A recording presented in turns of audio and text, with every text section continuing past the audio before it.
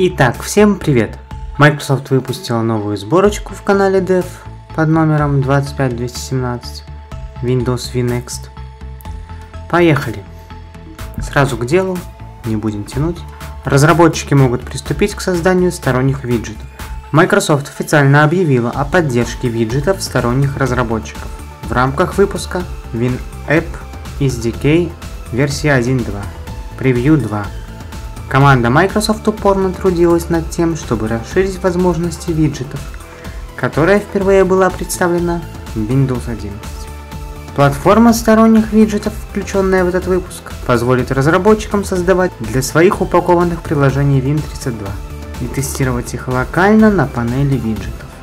Разработчики с упакованными приложениями Win32 смогут создавать и тестировать виджеты сторонних разработчиков локально, Параметры конфиденциальности защиты для разработчиков. То есть вот здесь.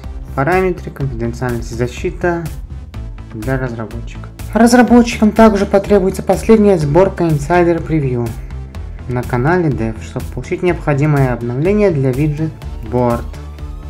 Сторонние виджеты могут быть протестированы локально только на последних сборках Insider Preview на канале Dev. Для этого предварительного выпуска после выхода WinApp SDK 1.2 GA пользователи выпущенных версий смогут начать устанавливать сторонние виджеты через Microsoft Store для поставляемых версий своих приложений. Поддержка сторонних PWA виджетов также появится в будущем выпуске Microsoft Edge. Далее, облачные подсказки в китайском упрощенном методе ввода IME. В новой сборке внесены некоторые изменения, которые позволят вам легко набирать новые актуальные и популярные слова на упрощенном китайском языке. Изменения включают в себя улучшенные облачные подсказки и встроенные поисковые подсказки. Облачные подсказки добавляют наиболее релевантное слово из Bing в окно кандидата IME. Была обновлена внутренняя логика, чтобы обеспечить более качественные и свежие предложения. Далее, Улучшение и изменения. Вот. Начат выпуск новой клавиатуры. Начат выпуск новой клавиатуры Tamil Anyal для тамильского языка со сборки 25179. И с сегодняшнего дня она доступна для всех участников программы предварительной оценки Windows на канале Dev. Отключена новая настройка сенсорной клавиатуры, которая впервые начала развертываться для участников программы предварительной оценки в сборке 25188. Поехали к исправленным проблемам. Панель задач. Оптимизированная для планшетов. Исправлена проблема, из-за которой панель задач иногда сворачивалась, когда ее нужно было развернуть, если на рабочем столе нет запущенных окон. Исправлена проблема, которая возникала при использовании жестов левого или правого края, что приводило к тому, что виджеты или центр уведомлений перекрывались панелью задач или выглядели усеченными.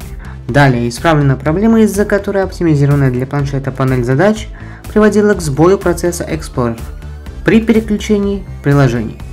Исправлена проблема, из-за которой панель задач, оптимизированная для планшетов, приводила к сбою процесса Explorer, если вы открывали всплывающее меню переполнения.